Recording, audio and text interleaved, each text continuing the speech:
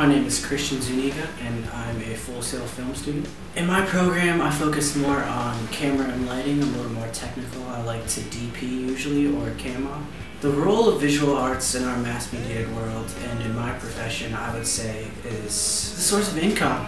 I guess, or communication. Advertising companies use it to push their products to people. Storytellers use it to, I don't know, express themselves, I guess. I'd say its main focus would be communication, spreading new ideas. With imagery being almost instantly available because of the new technologies and media communications and such, I would say it has an overall positive effect. It allows more people to communicate, express their own feelings and ideas, and more people's views are getting put out there. Popular images that I've seen frequently rechanneled throughout the entertainment industry, it's not so much an image as like an exact picture. I'd say it's like an image of how people are, grand ideas of like how people live and how people fall in love I it's just not very realistic, I guess. So I guess in a sense it's putting out images that are not wholly true. There's definitely images that the industry has popularized and created. Like the idea of uh, true love at first sight, stuff like that.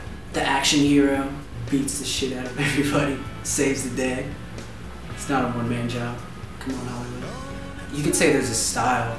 Uh, my favorite visual artist would be Wally Pfister. He's done The Dark Knight, Batman Begins, The Prestige, basically all of Christopher Nolan's movies. And I, I love his style. It's really crisp and clean. I love the movement he captures, and he has really good composition. I'd say my favorite visual art would definitely have to be a film or a video.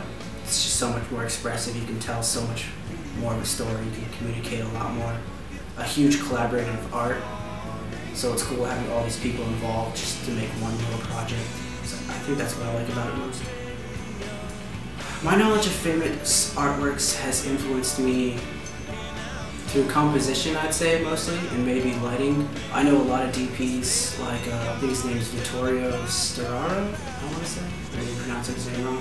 But I know he looks at like old paintings and stuff from Renaissance or other time periods as like influence for how he wants to light something. I've definitely snagged like some composition from old paintings and stuff. And they taught us some lighting about Rembrandt lighting, which was made famous by Rembrandt the painter. He'd have that 45 degree to the camera's left or right, um, 45 degrees up, which would create a really nice light across the face, good shadow, good depth. So that's definitely something we've learned from from past artists, traditional artists, I'd say.